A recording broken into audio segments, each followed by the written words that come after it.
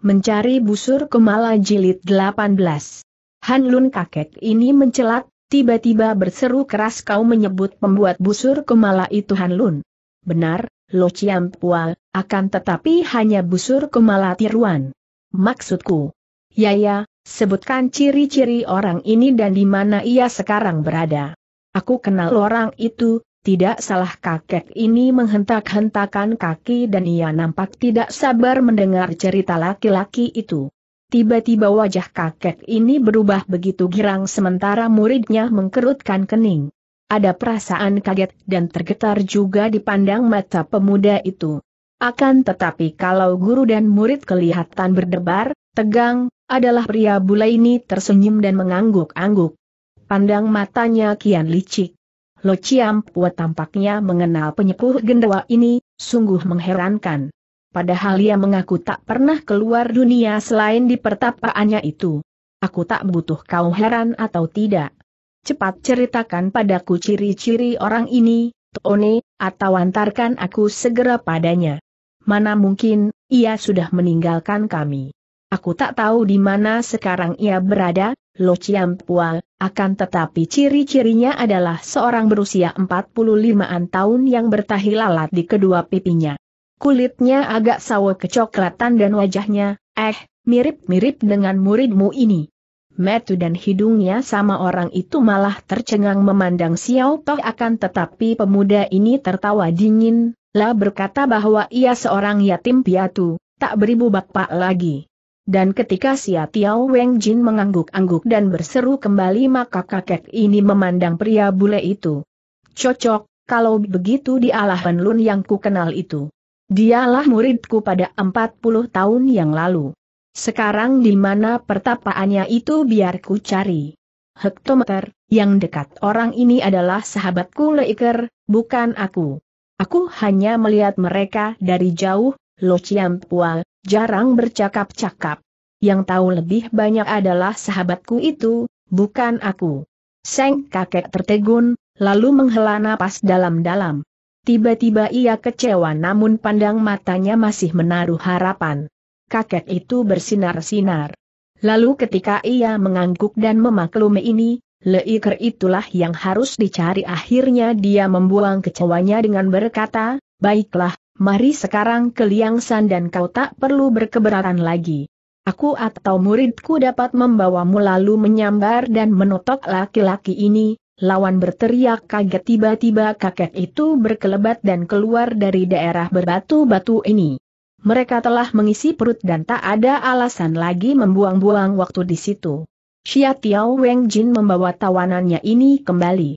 Lalu ketika ia melayang dan mengerahkan ilmu lari cepatnya, Seng murid berkelebat dan menyusul di belakang maka dua orang itu tak peduli lagi permintaan lawannya untuk beristirahat sehari.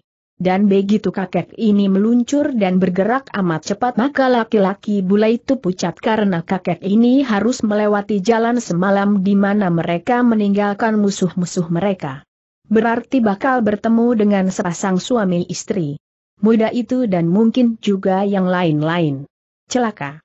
Akan tetapi karena ia tak berkutik dan keliangsan memang harus melalui tempat itu, tak disangkanya kakek ini tak mau beristirahat maka ia pun mengeluh dan diam-diam menjadi gelisah.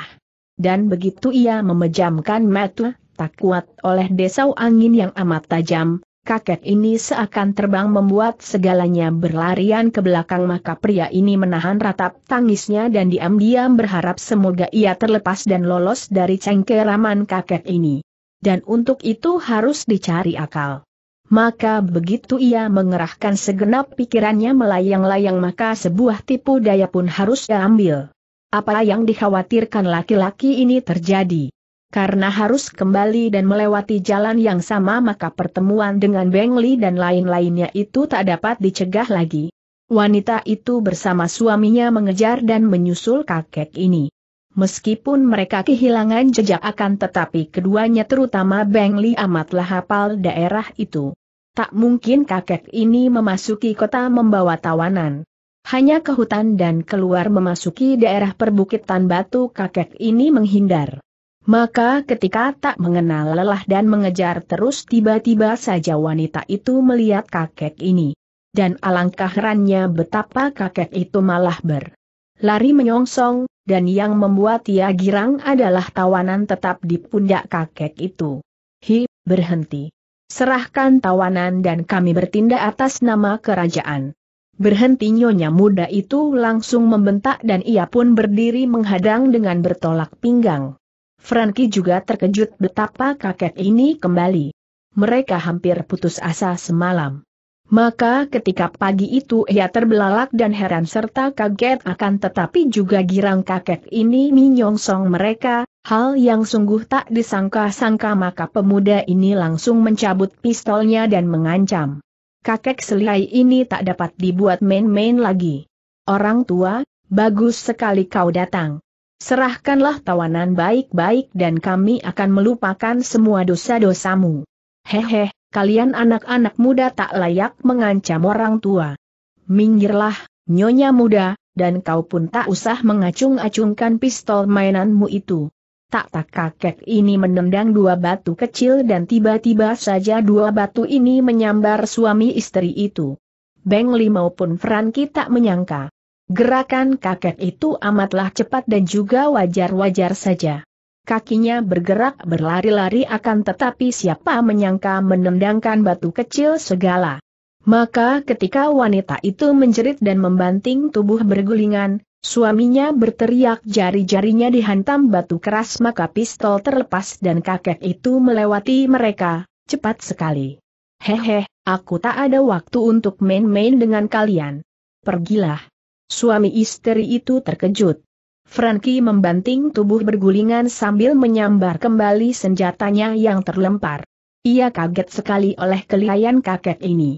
Akan tetapi ketika mereka meloncat bangun dan melotot marah ternyata kakek itu sudah jauh sekali dan terbang terkekeh-kekeh. Namun si Tiao Weng Jin tak menghadapi suami istri ini saja. Baru puluhan tombak kakek itu meluncur maka dua bayangan berkelebat.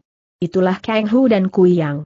Dan ketika dua muda-mudi ini membentak menghadang kakek itu maka Kui yang melepaskan panah menjepret kakek ini. Serahkan tawanan atau kau roboh. Kakek itu tertawa. Tentu saja ia menangkis dan memukul patah anak panah ini. Akan tetapi ketika gadis itu menyusunnya cepat dengan anak-anak. Panah lain, mendesing dan menyambar pula tawanan maka kakek itu menjadi marah karena tawanan tiba-tiba menjerit. Aduh! kakek ini terbelalak. Tony menggelinjang di atas pundaknya dan bahu kiri terkena sambaran panah kecil. Panah ini memang meluncur di antara panah-panah lain sementara Kang Hu juga berkelebat dan menyerang kakek itu. Pemuda ini mempergunakan busurnya pula memukul dan menyabet. Maka marah betapa ia kecolongan, tawanan mengeluh tiba-tiba kakek ini menggerakkan lengan ke depan dan ia telah melakukan pukulan dengan jurus Seng Hiapuan Sin Hoat. Raja Wali menyergap lutung. Pergi kalian anak-anak busuk. Dua muda-mudi itu terkejut. Serangkum angin kuat mendahului mereka sebelum jari-jari kakek itu tiba. Buku jari kakek itu berkerotokan dan ketika keduanya menangkis sambil menggerakkan senjata mereka ternyata busur melengkung dan bakal patah kalau terus bersikap nekat. Plak Ayah Kui yang melempar tubuh bergulingan sementara tangan kirinya melempar panah-panah kecil. Ini adalah panah-panah tangan. Yang biasa ia pergunakan sebagai amgi, senjata rahasia. Namun ketika pukulan kakek itu menolak runtuh semua panah tangannya, meloncat bangun dan ia melihat kakek itu meloncat pergi maka kakek ini berseru pada muridnya untuk menjaga di belakang. Pemuda ini memang belum melakukan sesuatu membantu gurunya. Jaga dan jangan sampai tikus-tikus busuk itu menggangguku lagi. Tawanan terluka. Xiao Toh terkejut. Setelah malam terusir lenyap dan matahari menguasai bumi maka ia melihat jelas bekas lawan-lawannya yang cantik dan gagah ini. Ia melihat betapa Kui yang semakin matang sementara ia yang sudah tumbuh dewasa berdesir oleh birahi yang menyala. Dulu ia hanya menganggap gadis itu cantik saja, tak ada embel-embel.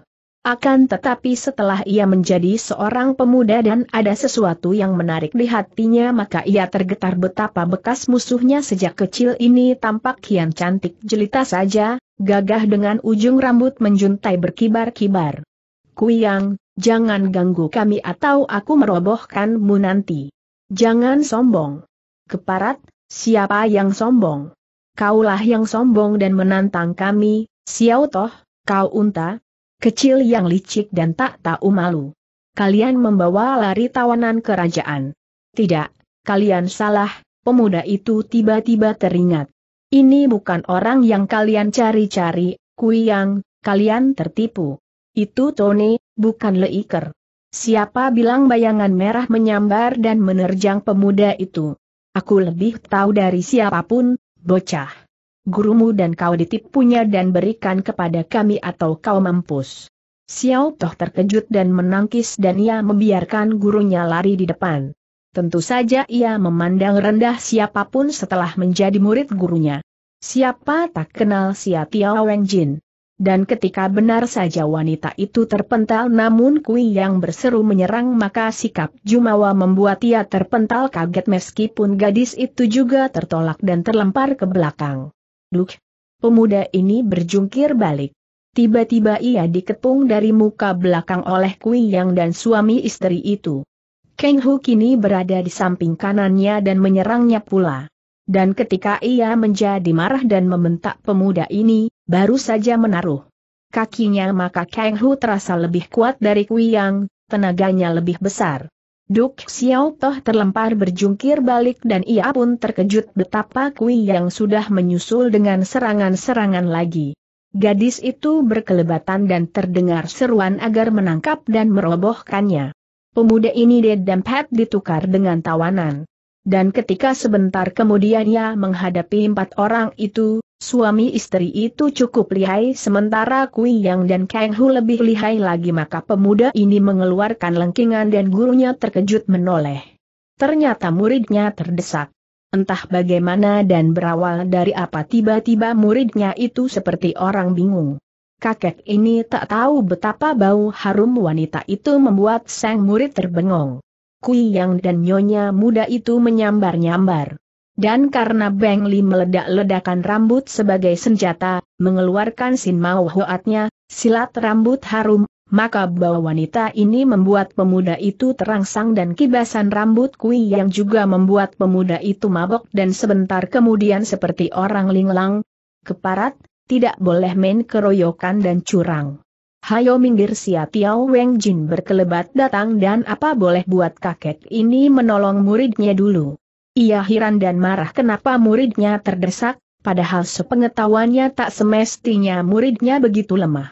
Dan ketika ia turun tangan dan bantuan gurunya ini tentu saja melegakannya maka pemuda itu berseru agar menangkap dan merobohkan Kuyang. Betapapun ia lebih tertarik gadis ini daripada nyonya muda itu. Akan tetapi apa jawab gurunya? Ia malah dimaki-maki. Apa, kau mulai gila perempuan? Kau menyuruh aku menangkapnya? Kurang ajar, bocah edan. Bukan saatnya bicara seperti ini dan ingatlah kita masih punya pekerjaan penting yang harus diselesaikan. Hayo bawa tawanan dan aku menjaga di belakang, Wut kakek itu melempar tawanannya dan sang murid menangkap cepat. Tentu saja pemuda ini menjadi merah apalagi Kui yang memaki-maki. Gadis ini tak tahu bahwa Xiao Toh mulai jatuh cinta. Sebagai pemuda yang sudah dewasa dan terkena getar-getar berahi maka hal itu mengganggu Xiao Toh. Pemuda ini mulai mabok. Akan tetapi ketika diingatkan tugas mereka dan betapa semua itu lebih penting, pemuda ini menahan malu maka ia berkelebat dan akhirnya gurunya itulah yang melindungi dan mendorong empat lawan ini. Beng Li dan Franky terpelanting sementara Kang Hu dan Kui yang terhuyung-huyung. Namun Sia Tiao Weng Jin tak bermaksud melukai atau bertangan besi terhadap anak-anak muda ini. Sebagai angkatan tua yang menjaga gengsi tentu saja ia hanya memukul mundur dan mendorong lawan-lawannya itu. Mereka bukanlah tandingannya. Maka terkekeh dan memutar tubuh ia berkelebat pergi meninggalkan lawan-lawannya itu, menyusul muridnya. Akan tetapi Beng Li dan Kui yang maupun teman-temannya bukanlah orang-orang yang gampang menyerah. Mereka membentak dan menyerang lagi, Beng Li mencabut pedangnya. Akan tetapi karena kakek itu memang lihai dan tertawa-tawa menangkis maka odang wanita ini malah terlepas dan hanya Kui yang serta Kang Hu yang bergoyang dan terhuyung-huyung. Dua muda-mudi ini membuat kagum kakek itu dan mulai memperhatikan. Gaya ilmu silat mereka seakan dikenalnya. Kalian, hi, murid siapa dan bagaimana memperoleh ginkang sebagus itu? Rasanya seperti Sin. Ciak Hai Peng, merak sakti membuka sayap, eh, seperti Sing Hoco Anin, bangau sakti menerjang awan.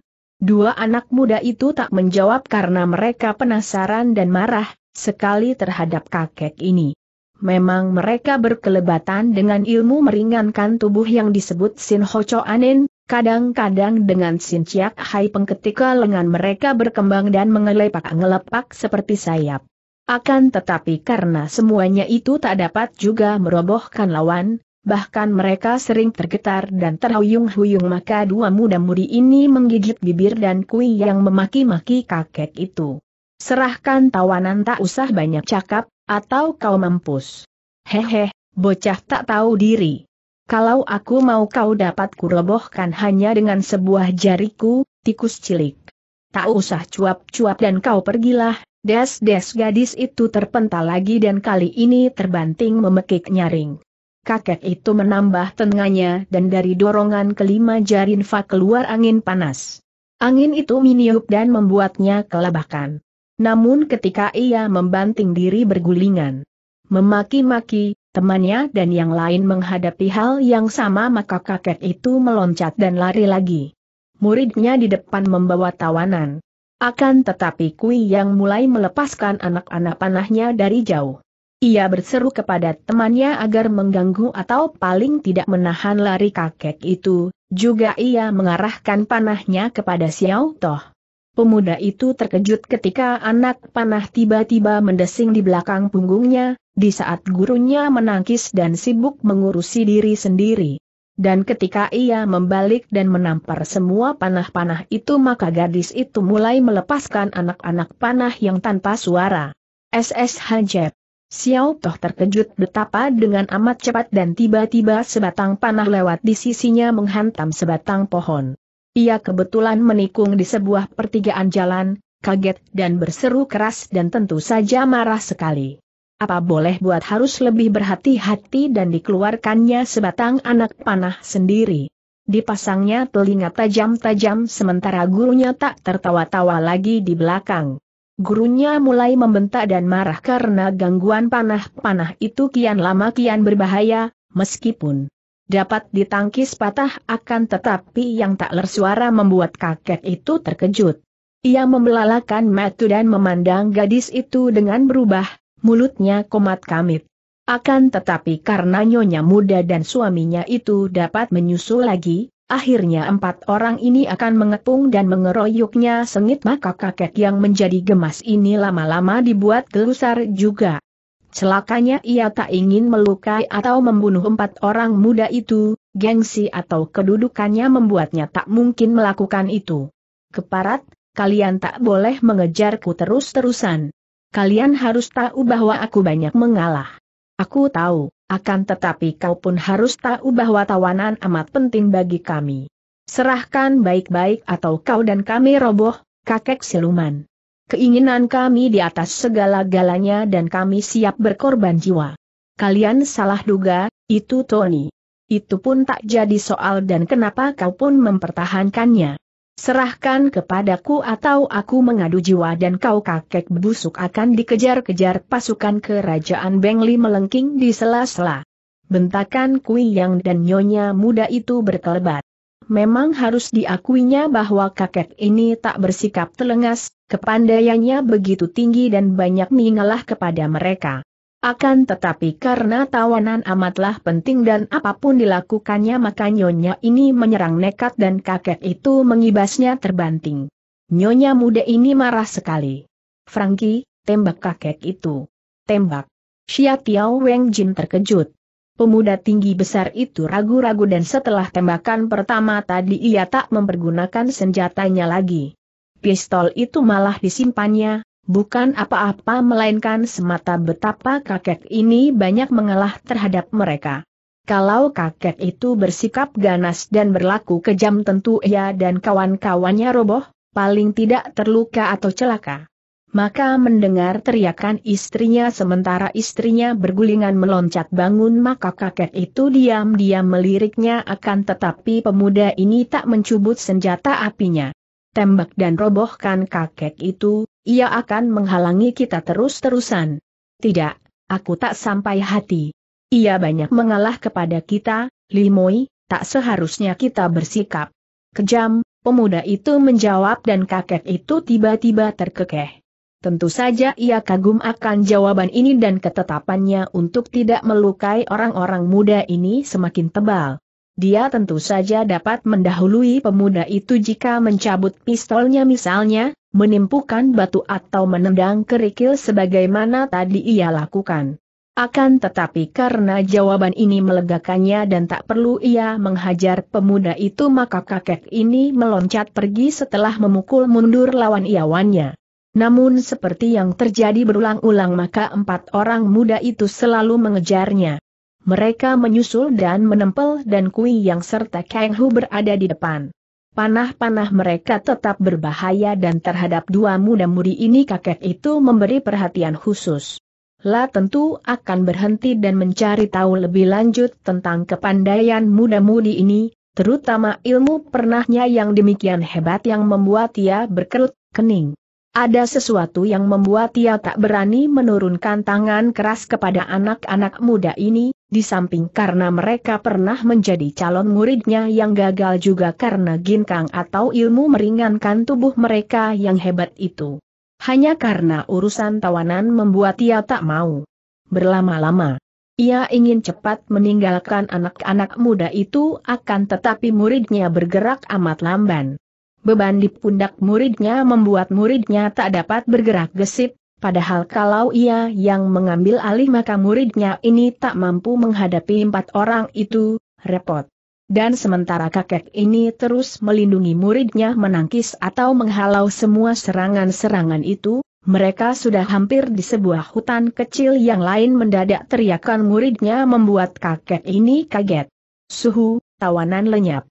Bukan hanya kakek ini yang terkejut melainkan Kui Yang dan lain-lain juga terkejut. Mereka terus mengejar dan menyerang kakek ini ketika tiba-tiba teriakan Xiao Toh mengundang perhatian. Sebuah bayangan hitam berkelebat di susul bayangan lain. Kui yang melihat itu karena kebetulan ia berada di depan, kakek itu membalik dan menghadapi mereka dan dialah yang melihat pertama kali. Akan tetapi karena bayangan itu amat cepatnya dan bersamaan itu terdengar teriakan Xiao Toh, gadis ini terbelalak maka pemuda itu berteriak sekali lagi ketika bayangan hitam menyambar dan menyerangnya dari atas bayangan kedua entah ke mana dan bayangan hitam. Inilah yang muncul dan tahu-tahu menghantam da itu. Air, celaka pemuda itu membanting tubuh bergulingan karena tadi pundak kirinya tahu-tahu ditepuk seseorang. Bersamaan itu tawanan diserobot dan ia lumpuh sejenak. Apa yang terjadi tak ia ketahui karena kakinya baru saja memasuki mulut hutan. Maka ketika tiba-tiba bayangan hitam menyambarnya sementara ia masih kaget oleh tepukan di pundak, tak tahu dan tak melihat siapa lawannya maka pemuda ini terbelalak marah ketika seorang wanita cantik jelita menyerangnya cepat dan dua tamparan di kanan kiri membuat ia berseru keras dan membentak serta menangkis. Plak-plak. Xiao Toh tergetar sementara lawan berjungkir balik melayang turun. Dua tenaga bertemu dan pemuda ini menjadi kaget. Ia merasa kedua lengannya panas.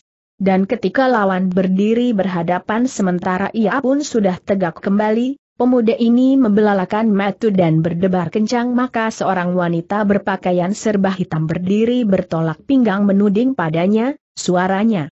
Nyaring galak akan tetapi harus diakui begitu cantik jelita. Sukmanya seakan terbang bergetar-getar. Kau, penculik dan pengecut hina. Kiranya kau yang telah membawa lari tawanan dan kini menyerahlah dan ikut baik-baik ke kota raja. Aku tak akan mengampunimu bila kau melawan dan bersikap kurang ajar. Pemuda ini bengong dan terbelalak di tempat dan murid Sia Tiao Weng Jin ini mengucek-ucek matanya seakan tak percaya. Manusiakah yang dihadapinya ini, atau seorang peri atau bidadari kahyangan? Wajahnya begitu cantik jelita dan wajah maupun telunjuk yang menuding itu begitu halus menantang. Dan ia telah merasakan hebatnya jari-jari mungil itu, jari atau tangan yang membuat ia tergetar panas. Masa manusia bisa seperti ini? Maka bengong dan begitu terkesima, wanita yang ini rasanya jauh lebih cantik daripada nyonya muda itu atau kui yang maka Xiao Toh melotot dan akibatnya tubuh itu berkelebat dan jari-jari itu minampar. Tikus busuk tak tahu malu, mampuslah kalau tak bisa bicara. Pemuda ini kaget. Otomatis ia mengelak dan menangkis, menambah tenaga akan tetapi sama juga. Ia terpental dan terbanting. Rasa bengongnya membuat ia seperti tersehir. Dan ketika ia bergulingan meloncat bangun berdiri lagi, barulah. Ia sadar maka wanita itu berkelebat lagi dan kini menyerangnya bertubi-tubi, hendak menangkapnya. Kau pengacau dan penculik tawanan aku tak akan mengampunimu dan mampus di sini atau kutangkap baik-baik. Pemuda ini terkejut dan kaget sekali betapa seluruh bagian wanita itu menyambar dan menyerangnya cepat, mulai dari jari-jari lentik halus itu sampai sepasang kaki dan tangan yang bergerak amat cepatnya. Ia sampai bingung. Dan ketika terdengar ledakan dan itulah rambut yang menyambar cepat, mengingatkannya akan nyonya muda di sana itu maka sekejap kemudian kesadaran pemuda ini pulih dan ia membalas serta membentak marah. Betapapun keganasan dan kegalakan. Wanita ini membuat pemuda itu tak senang. Plak duk plak en wanita itu terpental dan pemuda ini mulai dapat memperbaiki diri setelah ia menangkis saya memusatkan pikiran. Rambut itu meledak-ledak dan bau harum menguasai hidung akan tetapi murid Sia Tiao Weng Jin ini tak ma. Bok lagi. Ia telah sadar dan kaget oleh benturan tadi, juga ginkang yang ditunjukkan lawannya ini yang membuat lawan melayang begitu cepat dan amat ringannya bagai kapas kering. Tubuh itu menyambar dan berpindah-pindah amat cepatnya. Maka ketika ia membentak dan seruannya telah mengundang gurunya, ia benar-benar kaget tak tahu di mana dan siapa perampas tawanan maka Kui Yang dan lain-lain berkelebatan datang dan mereka pun mengenal wanita berpakaian serba hitam ini. Enci Kiok Engeng Cici. Xiao Toh terbelalak. Tiba-tiba empat orang itu menyebut lawannya dan segera pikirannya menuju Liang San. Kiok Eng. Ah, ini kiranya wanita gagah perkasa itu. Ini kiranya Putri Fang Fang cucu murid Dewa Matu Keranjang. Maka ketika ia tertegur dan sedikit kelambatan ini dibayar cepat tiba-tiba tengkuknya bertemu jari-jari wanita itu membuatnya terpelanting dan berteriak. Plak pemuda itu melempar tubuh bergulingan akan tetapi saat itu guru Ni berkelebat datang. Xia Tiao Weng Jian marah betapa muridnya diserang hebat, lawan baru yang tangguh dan sepak terjangnya lebih ganas dari empat orang muda itu. Tak aneh, Inilah Kiok Eng yang dulu mengobrak-abrik banyak orang dan membuat geger kota raja. Bekas wanita yang marah kepada ayahnya sendiri dan betapa dulu diracuni dendam yang dimasukkan guru-gurunya sendiri, sebelas istri Dewa Matu Keranjang. Maka ketika wanita itu menyerang dan mendesak hebat lawan yang tak menjawab pertanyaannya, marah karena pemuda itu memandangnya melotot maka Kiok Eng baru terlempar dan berjungkir balik ketika kakek itu menolong muridnya dengan berkelebat dan menotok punggungnya. Das wanita ini membalikan tangan akan tetapi bukan main kagetnya oleh jari-jari dingin sekuat baja. Ia merasa ngilu dan seakan patah, padahal sudah mengerahkan sinkangnya oleh totokan lihai itu. Dan ketika ia meloncat bangun membentak marah, Kakek itu berkilat memandangnya maka Sia Tiao Weng Jin bertanya kepada muridnya. Perubahan demikian cepat dan mendadak sekali. Mana tawanan, apa yang terjadi? Siapa mengambilnya darimu, Xiao Toh? Orang kurang ajar dari mana berani main-main di depan Sia Tiao Weng Jin? Aku tak tahu dan tak melihat apa yang terjadi. Waktu aku memasuki hutan tahu-tahu pundaku ditotok seseorang, suhu, lumpuh dan saat itulah tawanan berpindah tangan. Aku tak tahu siapa yang melakukan akan tetapi jelas bukan wanita ini. Orang lain atau iblis yang mengambilnya. Tak mungkin, tak ada iblis di sini. pasti kawan-kawan mereka ini dan biar kutanya wanita ini, atau semua akan kuhajar dan marah memandang Kiok Eng kakek itu berseru, kau, siapa kau dan mana tawanan? Kau pasti tahu dan jangan main-main di depan si Tiao Weng Jin.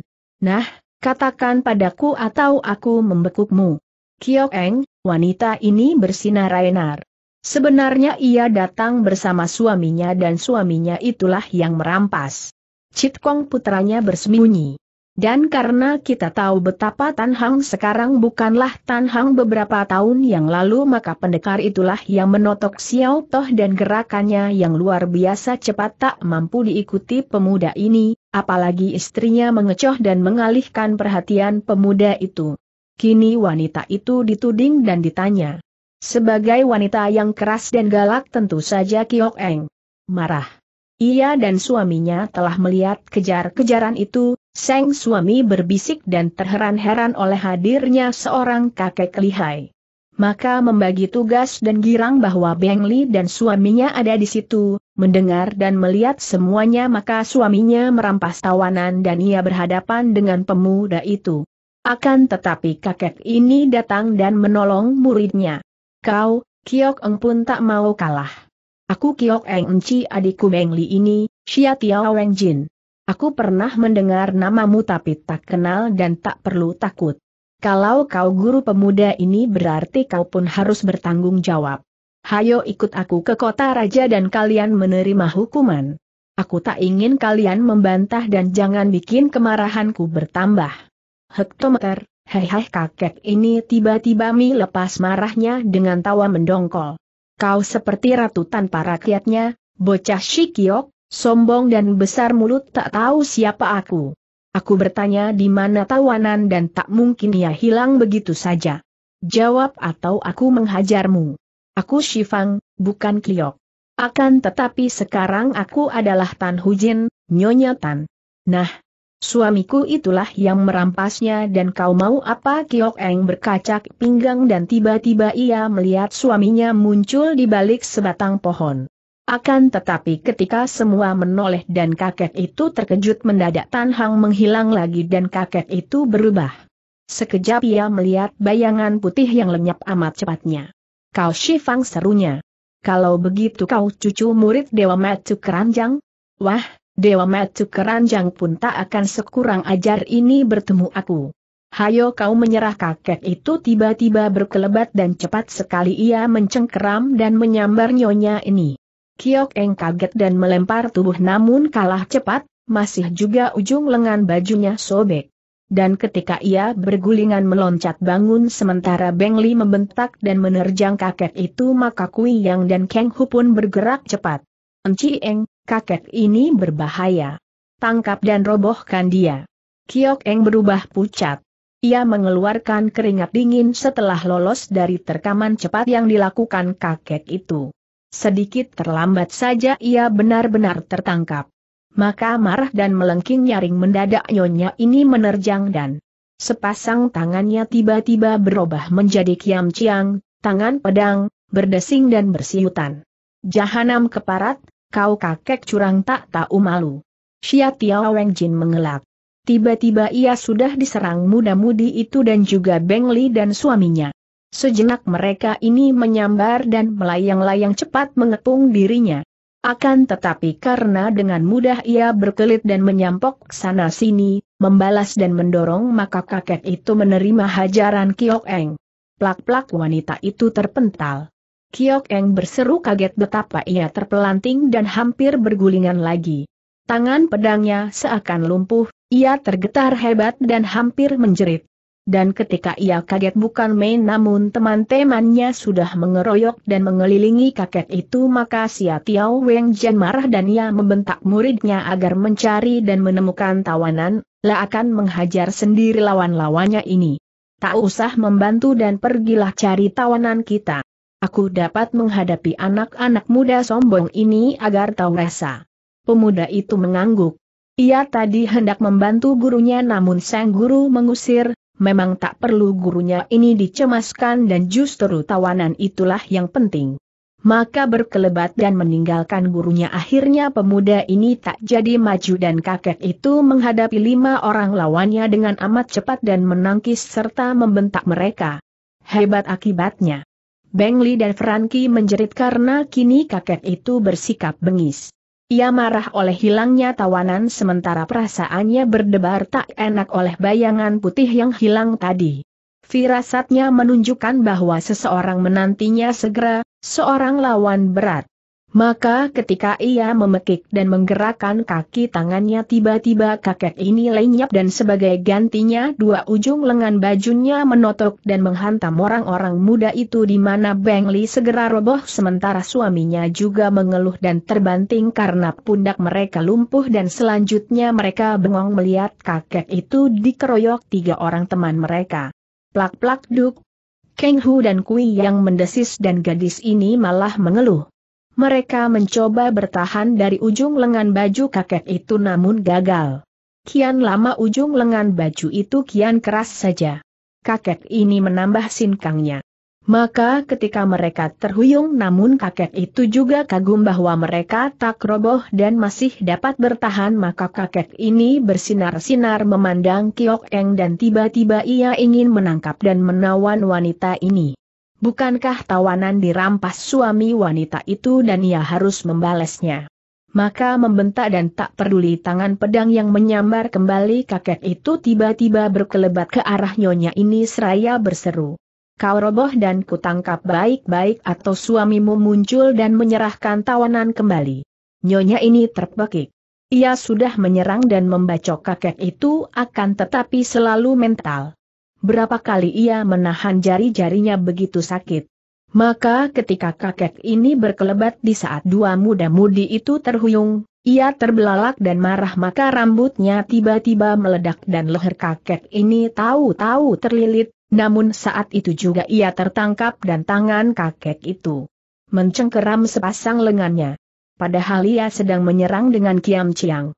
Plak plak nyonya ini menjerit dan menggerakkan kakinya namun tahu-tahu ia lumpuh kiok yang menendangkan kaki namun gagal karena cengkeraman kakek itu tahu-tahu melenyapkan semua tenaganya.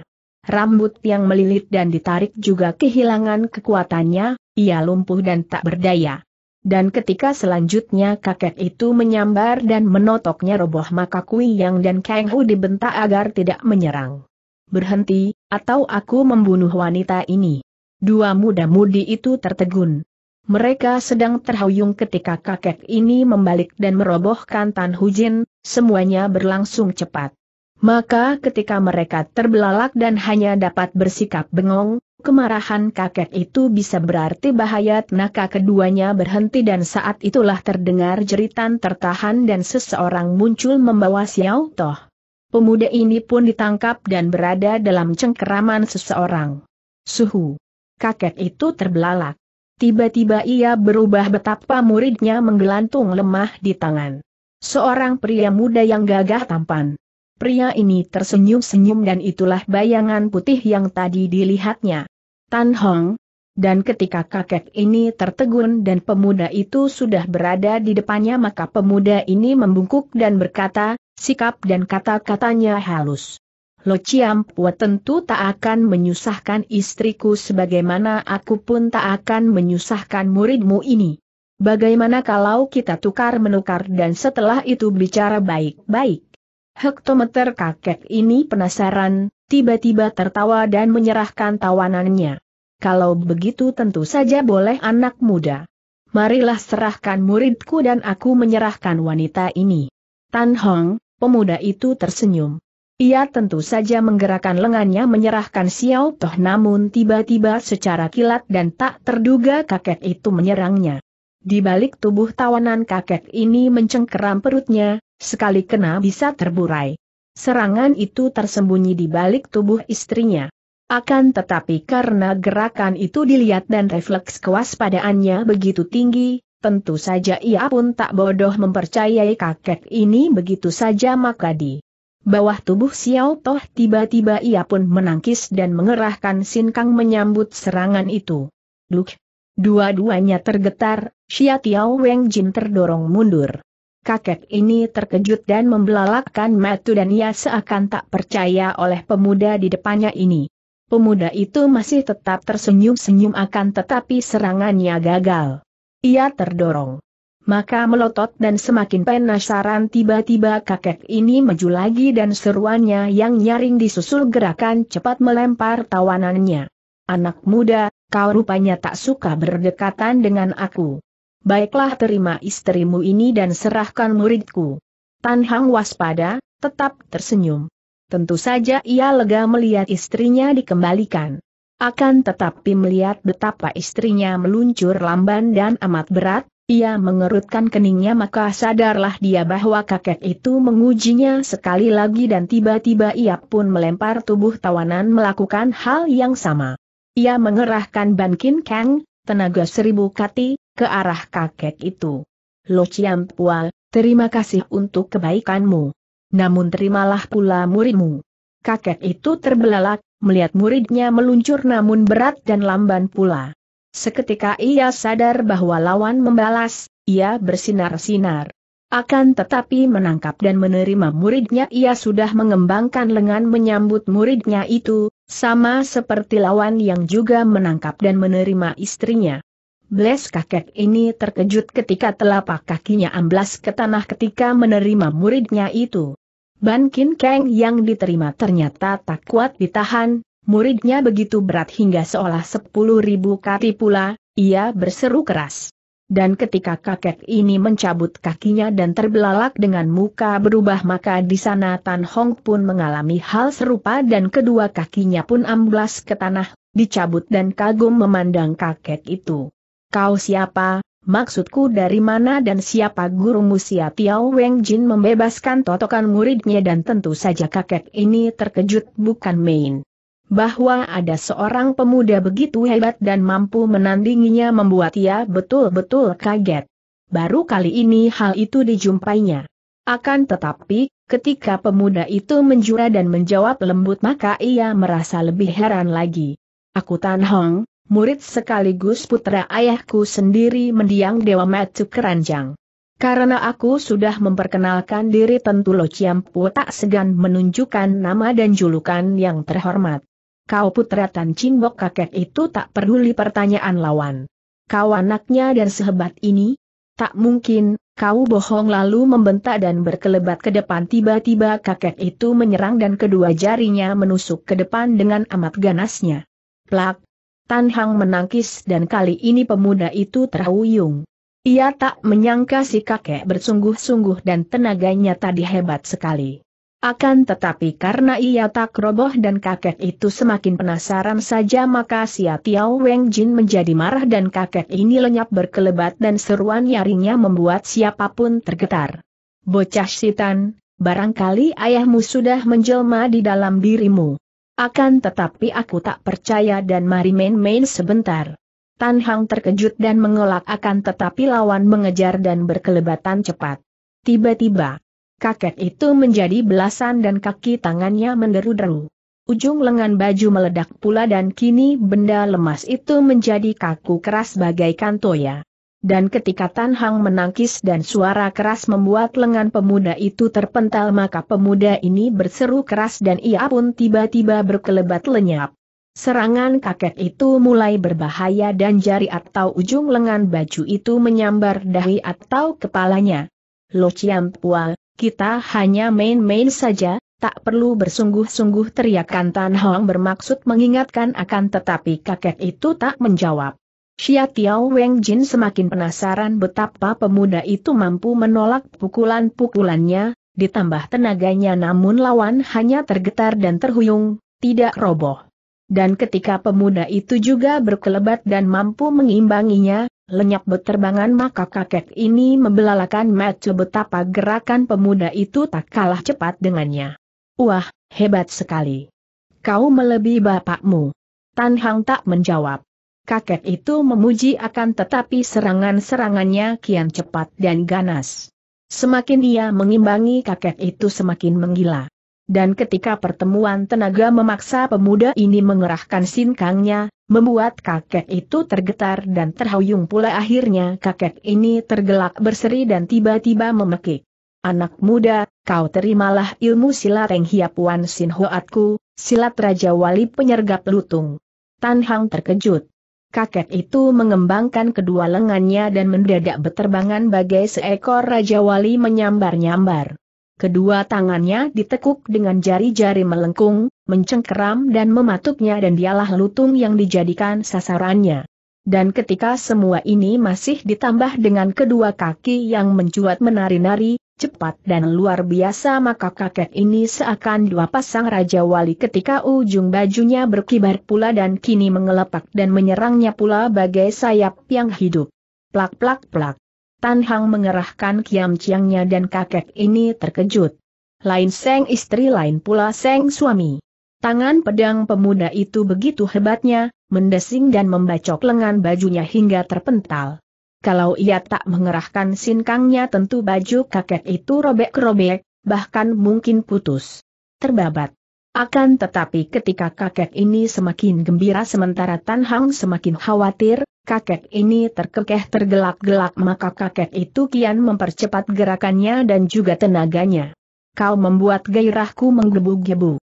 Kau lawan tanding yang menggembirakan dan mengherankan. Haha, kau tak usah banyak bicara membujuk aku, anak muda. Ketahuilah bahwa inilah kesempatanku membalas ayahmu yang dulu memalukan aku. Hayo layani aku dan jangan berteriak-teriak seperti perempuan bawel. Tan Hang melindungi diri dengan kiam ciang dan juga ginkangnya. Ia terpaksa mengeluarkan sindian ginkang yang hebat itu, ilmu meringankan tubuh kapas sakti dan kakek itu terkekeh-kekeh. Tentu saja Sia Tiao Weng Jin mengenal ini. Dan ketika pemuda itu berkelebatan cepat di antara bayang-bayang si kakek, Xia Tiao Weng Jin lupa diri akhirnya kakek ini mengerotokkan buku-buku jarinya dan ia mulai mengerahkan Hoa Kut Chiang, tangan penghancur tulang. Suhu, ingat akan tawanan dan robohkan lawanmu itu. Ia masih menyembunyikan milik kita. Benar, pertandingan ini sekaligus taruhan kita. Kau harus mengembalikan tawanan dan menyerahkannya baik-baik kalau kau roboh, anak muda, sekaligus pengakuan ayahmu kalau aku menang. Hayo tandingi aku dan lihat aku bersungguh-sungguh, Des jari kakek itu mencengkeram luput dan sebagai gantinya batang pohon di belakang Tan Hong hancur. Pemuda ini terkejut dan berkelit dan tentu saja semakin khawatir. Kakek ini sudah lupa diri. Dan ketika serangan kakek itu semakin ganas dan Hoakut yang menyelinap di antara ilmu silat Teng Hiapuan Sin Hoat maka pemuda itu mengerahkan Pet In Kang dan mainkan Imbian Kun, silat kapas dingin, untuk menahan atau menandingi kakek ini.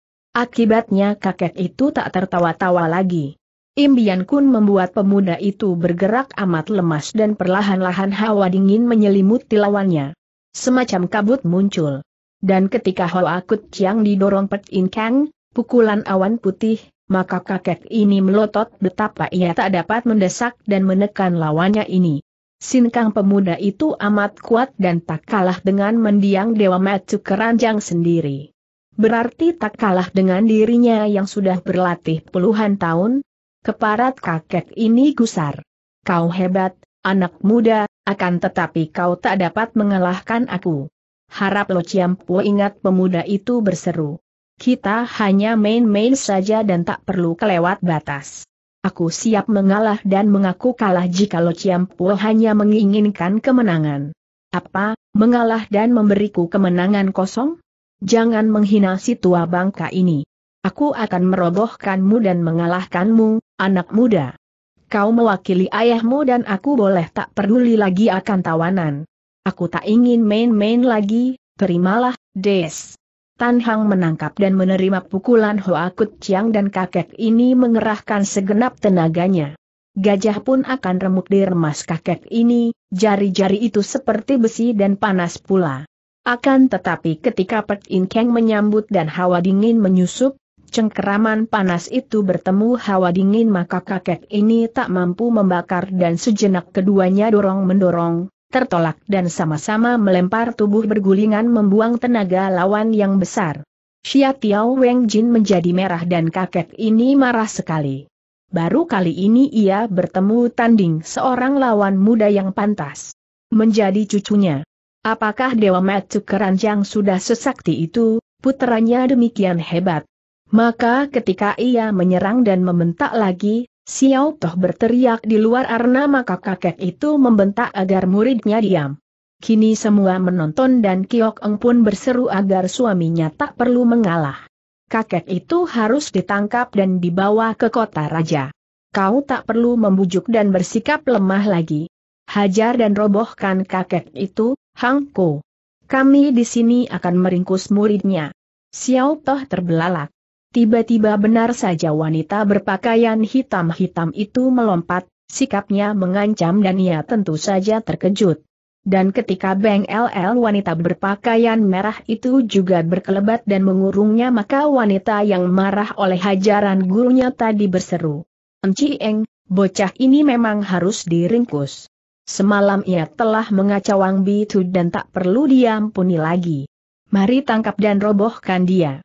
Pemuda itu mengelak ketika dua wanita ini tiba-tiba menyerang dan menotoknya. Kiok Eng lebih dulu dan Beng Li menyusul. Akan tetapi ketika terdengar seruan Tan Hong agar jangan mengganggu pemuda itu, maka dua wanita ini tertegun namun Beng Li berkelebat lagi. Ia tak akan kupaksa kalau siap menyerah baik-baik. Kalau kau ingin mundur biarlah aku sendiri, Enci Eng. Aku akan membalas kesombongannya dan masih ada suamiku di sana. Kiok Eng ragu, mundur mengerutkan kening, berpikir bahwa tak ada salahnya menuruti kata-kata Tan Hang karena tawanan telah mereka rampas. Akan tetapi ketika Beng Li terpental dan berteriak bertemu pemuda itu maka ia siap meloncat ketika tiba-tiba Franky bergerak. Biar ku bantu istriku dan ku tangkap pemuda. Ini. Kiok Eng tak jadi maju. Ipar dan adiknya sudah menerjang dan Franky Merv pergunakan pukulan-pukulan Liang San. Sebagai mantu atau keluarga besar Dewa Metu Keranjang Maki tentu saja pemuda ini cukup lihai.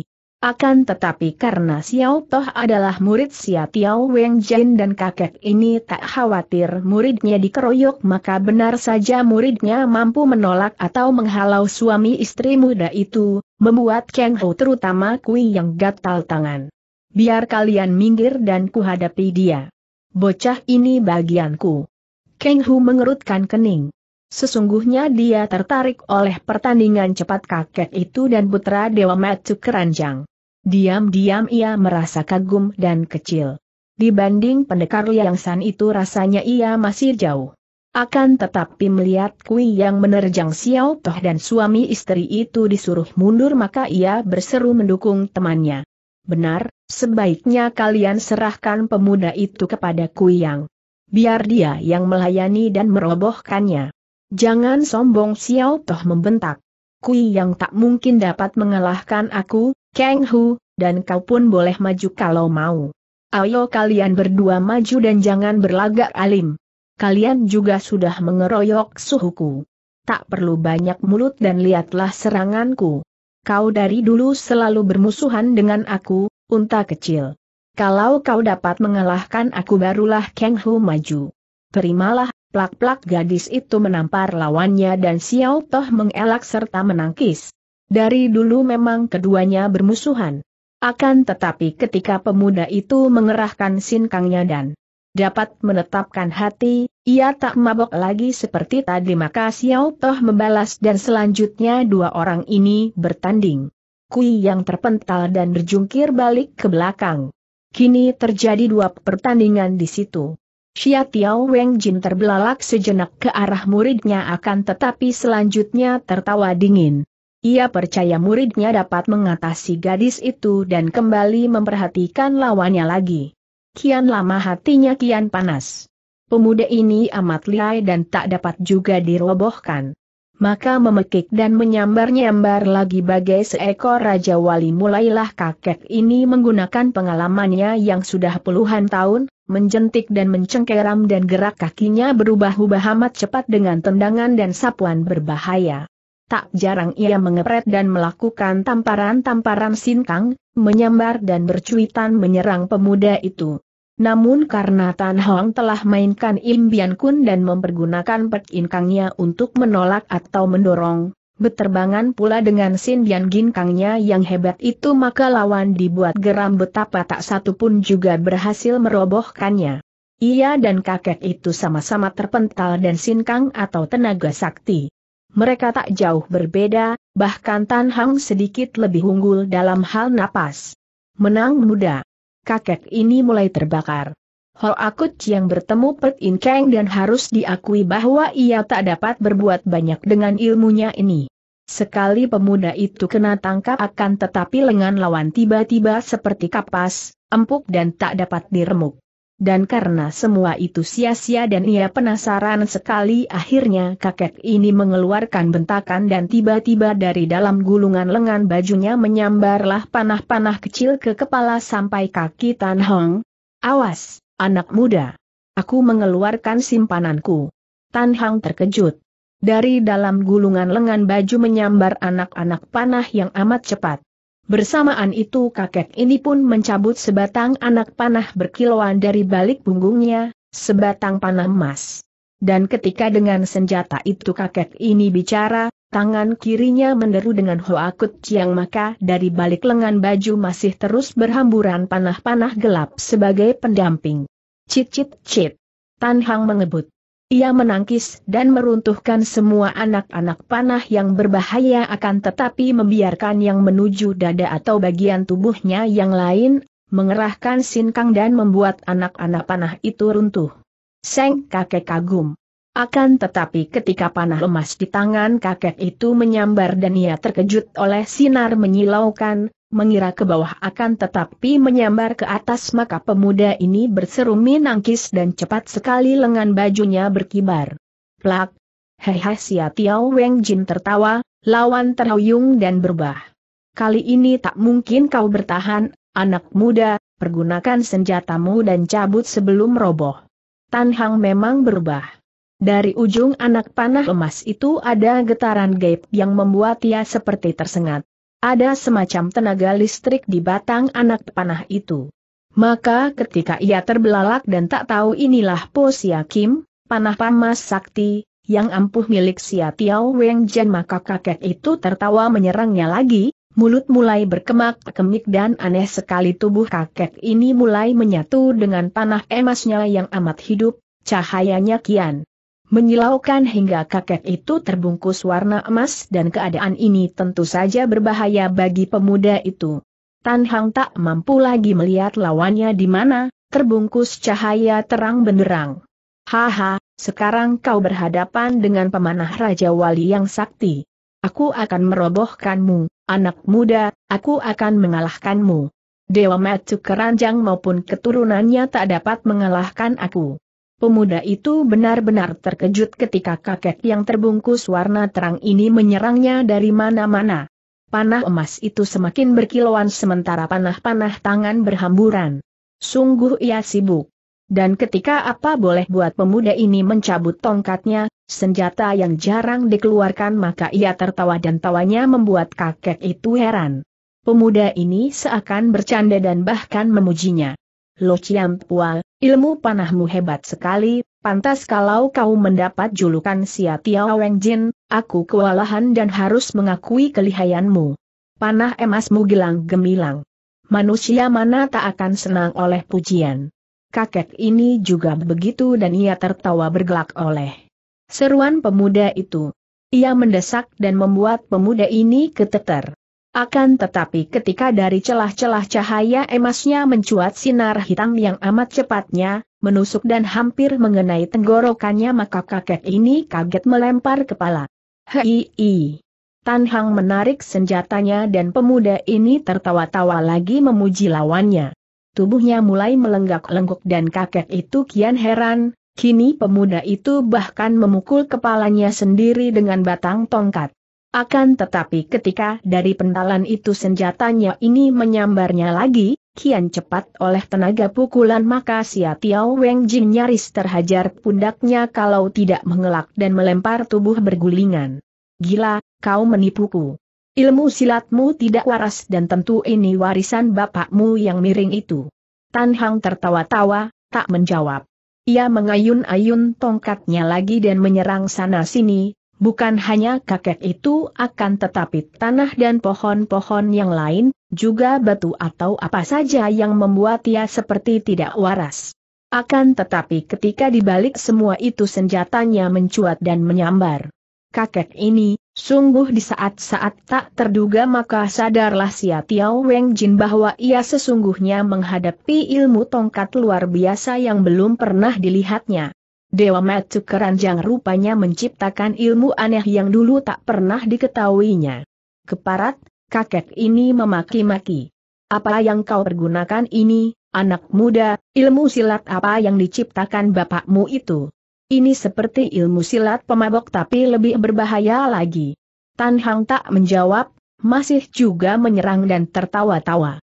Ia mengeluarkan silat tongkat yang disebut Haoli Sintung Hoat, merayu Dewi, yakni silat ciptaan ayahnya yang berkesan ugal-ugalan, memukul dan tidak hanya menyerang lawan akan tetapi juga benda-benda lain dan bahkan diri sendiri. Lenggak-lenggok itu hanya tipuan karena setiap kali tongkat terpental maka pentalan inilah yang menyambar lawan, meneruskan gerakan dan sesungguhnya merupakan susulan jurus berbahaya yang tak dapat diikuti lawan, sulit dibaca. Maka ketika ia mainkan itu dan inilah peninggalan ayahnya yang jarang digunakan, Sebenarnya dia enggan karena ilmu silat itu harus dimainkan seperti orang tidak waras maka Tan Hong kini mempergunakannya karena semata tak ingin kakek itu merendahkan nama ayahnya. Betapapun dia mulai terkejut dan penasaran ketika kakek ini mengeluarkan ilmu panahnya dan panah emas itu mengandung sesuatu yang gaib. Tentu diisi dengan tapa dan rapal-rapal mantra ketika dilihatnya pula kakek ini berkemak-kemik. Benar saja, lawan mulai mencak-mencak. Karena tak tahu dan belum mengenal baik ilmu tongkat itu maka kakek ini kebingungan. Sambil mainkan tongkat pemuda itu memuji-mujinya, padahal dialah yang seharusnya memuji ilmu silat tongkat itu dan mengakui bahwa Dewa Matu Keranjang memang bukan manusia sembarangan. Kini ia menghadapi keturunannya dan semua serangan pemuda itu amatlah berbahaya. Siapa menyangka ketika memukul diri sendiri mendadak tongkat itu menyambar dan menyerangnya. Kalau ia tidak waspada dan cepat menangkis tentu dialah yang kena kemplang. Maka memaki dan berkelebatan bingung akhirnya kakek ini kacau mainkan ilmu panahnya dan ia pun segera mengamati atau mencari kelemahan silat tongkat itu. Namun tak mudah bagi kakek ini menemukan rahasianya. Tan Hang sendiri hanya bersifat melindungi diri dan mengurangi tekanan apabila kakek itu melompat mundur, tak menyerangnya. Dan karena masing-masing pihak jadi mengendor dan Sia Tiao Weng Jin membelalakan mata maka pertandingan antara Kui Yang dan Xiao Toh mencapai puncaknya. Seperti gurunya akhirnya pemuda ini mainkan Eng Hiapuan Sin Hoatnya. Ilmu silat Raja Wali menyergap lutung ini dihadapi Kui yang dengan baik dan gadis itu menyambar-nyambar pula dengan Sin Hocoan innya. Ia menang cepat akan tetapi lawan menang tenaga, gadis itu penasaran. Dan ketika ia mencabut busurnya dan menyerang dengan gagang busur, tangan kiri mencabut anak panah maka Xiao Toh melakukan hal yang sama dan terjadi hal menarik di antara dua orang muda ini, yakni gerak dan gaya mereka hampir sama meskipun Xiao Toh mengganti anak panah di tangan kiri dengan cengkeraman-cengkeraman Hoakut Chiang yang amat dahsyat. Dua orang itu bertanding sambil memaki-maki. Kui yang mempercepat gerakannya akan tetapi lawan memperberat dengan tangkisan-tangkisan kuat. Tangan kiri pemuda itu mampu membuat anak panah terpental, bahkan bengkok dan ketika gadis itu menjadi marah dan mainkan gendawa lebih hebat. Maka busur di tangan pemuda itu digerakkan semakin cepat dan selalu mengimbanginya. Trak-trak. Kui yang selalu terhuyung akan tetapi gadis ini meloncat dan menyerang lagi. Ia membentak dan mengerahkan ginkangnya dan Xiao Toh menjadi silau oleh bayangan gadis itu. Demikian cepat Kui yang bergerak. Akan tetapi karena ia memiliki pertahanan kokoh dan tenaganya pun lebih besar, berkali-kali gadis itu terpental akhirnya pemuda ini melakukan gerak tipu yang disebut Raja Wali sembunyikan ekor. Begitu gadis ini terpental lagi mendadak ia menggelinding ke bawah dan ujung busurnya tiba-tiba menyodok paha. Kui yang menjerit dan memaki-maki. Ia baru saja terhuyung ketika pemuda ini membanting tubuh bergulingan. Tentu saja ia terkejut dan marah oleh serangan itu. Xiao Toh berkesan kurang ajar. Dan ketika ia menangkis namun terpental, keduduk kampun goyah tiba-tiba pemuda itu tertawa dan sebatang panah kecil menyambar perutnya, panah bermata tumpul akan tetapi bakal membuat ia roboh karena itulah senjata penotok yang cukup ampuh. Tuk, kui yang terpelanting dan benar saja gadis ini roboh. Ia sendiri memegang panah tangan akan tetapi bengkok. Dan ketika pemuda itu menyambarnya dan hendak memondongnya maka Xiao Toh ganti terkejut karena tiba-tiba sebuah tendangan mencuat dari gadis itu mengenai perutnya telak. Das pemuda ini menjerit dan terbanting dan ia lupa bahwa gadis itu dapat memindahkan jalan darah. Ikyong Hoan Hiat yang dipergunakan Kui yang tepat sekali. Ia memang roboh oleh panah tumpul akan tetapi jalan darahnya telah bergeser hanya rasa sakit yang membuat gadis itu marah. Maka begitu lawan menubruknya dan menyangka ia lumpuh, di saat itulah kakinya bekerja maka pemuda ini terlempar dan kebetulan sekali jatuh di dekat gurunya. Bluk! Xia Tiao Weng Jin melotot dan saat itu terdengar teriakan anak kecil. Semua tiba-tiba terkejut tapi Tan Hujin berkelebat. Itulah jeritan Cit Kong yang dikenal. Dan ketika Tan Hang juga terkejut dan menyambar ke belakang, menyusul dan melampaui istrinya maka seseorang mencengkeram anak itu dan Cit Kong meronta serta melepaskan diri. Duk! Tan Hang menyambar orang ini dan keluhan tertahan terdengar dari mulut orang itu. Ia seorang laki-laki tinggi kurus akan tetapi wajah dan kepalanya tertutup topeng, Tan Hang membentak dan mengejutkan orang itu dan ketika Cit Kong terlepas dan bergulingan menjauh, ia menuding namun sesak napas mendadak anak itu terguling dan Kiok Eng menyusul tiba sementara laki-laki aneh itu melarikan diri. Cit Kong menunjuk arah tawanan. Celaka, apa yang terjadi Tan Hong berkelebat setelah istrinya menyambar putranya dan tak peduli kepada laki-laki bertopeng itu. Akan tetapi ketika ia tiba di sana dan tak melihat sesuatu, bahkan istrinya berseru kaget maka terlihatlah dua orang memanggul tawanan, berlari cepat dan masuk hutan. Ah, itu tawanan. Ada dua orang. Bukan hanya pendekar ini yang terkejut melainkan Sia Tiao Weng Jin dan lain-lain. Kakek itu pun menyambar sambil minarik muridnya. Ia membentak Tan Hang mengira pemuda itu meninggalkan pertempuran. Akan tetapi ketika didengarnya seruan nyonya itu dan betapa dua orang melarikan diri di kiri kanan hutan, masing-masing membawa seorang kulit putih yang diduga tawanan maka kakek itu berseru keras dan mendadak ia terbang mengejar. Kakek ini melupakan Tan Hang dan sekonyong-konyong marah sekali teringat tawanan. Hei, siapa kau dan kembalikan orang itu? Ia tawananku. Orang itu tak berhenti. Ia berkelebat di kiri hutan sementara yang lain masuk dan hilang di sebelah kanan. Yang dikejar kakek ini yang sebelah kiri.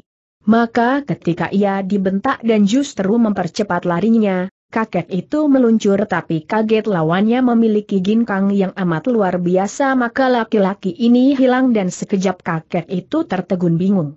Ia mengejar orang kedua yang tadi dituding Tan Hujin. Kita kejar yang sebelah kanan dan kalian yang lain menyusul kakek itu Tan Hong tiba-tiba berseru dan pendekar ini menyambar istri dan anaknya. Begitu cepat ia bergerak hingga pendekar ini tahu-tahu lenyap. Dan ketika yang lain terkejut dan terhenyak di situ maka Beng Li berseru pada Kang Hu dan Kuyang.